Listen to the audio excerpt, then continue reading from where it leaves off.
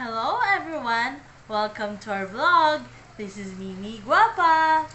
This afternoon, we will be doing another poetry reading. And this is another impromptu prompts that we do occasionally in our vlog. So so far I have not read I have not counted yet, but we have already made several poetry readings some are my original compositions, other are famous poems, and some are poems that I tweaked and edited.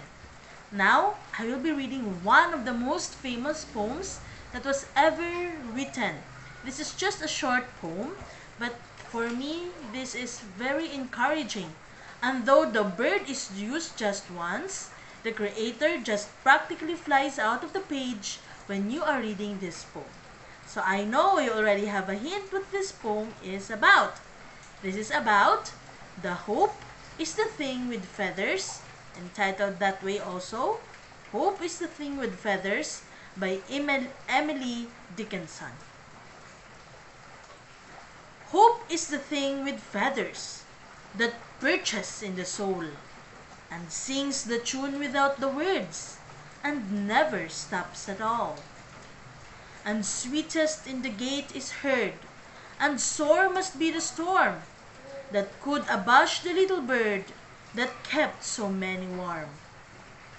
I've heard it in the chillest land and on the strangest sea, yet never in extremity it asked a crumb of me.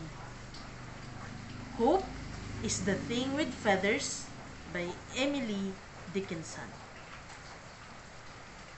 I hope you enjoyed our poem reading this afternoon and you were you was you were inspired. You were inspired by what you have read and you are reminded that hope is just a fluttering feeling inside of us just like a bird keeping everything warm. Thank you for staying tuned until the end of this video. May you are inspired and more motivated as you have listened to it. God bless everyone. Bye-bye.